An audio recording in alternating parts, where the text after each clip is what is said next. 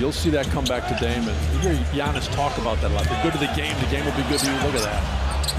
Giannis knew exactly what Malik Beasley was, and Pease has his first three. As an opponent, 62 total blocks coming into tonight. And catches, shooting, fires. He's got his second three-pointer. Exactly who he's got to be. Keep spacing. A late game, it'll open everything up for everybody else. Carter with... Yeah, no Alex Caruso. As uh, JC tries to float it again. Found ways to, to fill in and replace that 21 points per game. Vucevic fades it back. He's beating Coby White with a two-point attack. Giannis again feeding AJ spin move to find Beasley in the corner, who takes it inside for two.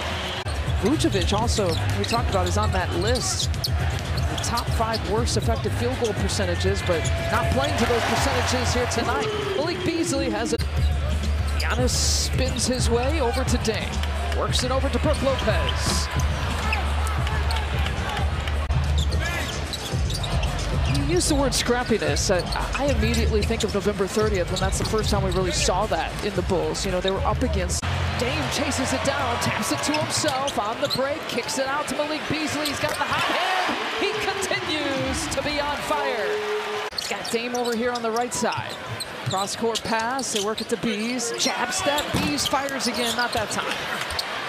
Milwaukee Bucks have gone cold from three-point territory here in this third quarter. I mean, they were shooting 60% basically for the first half. Here comes Buddy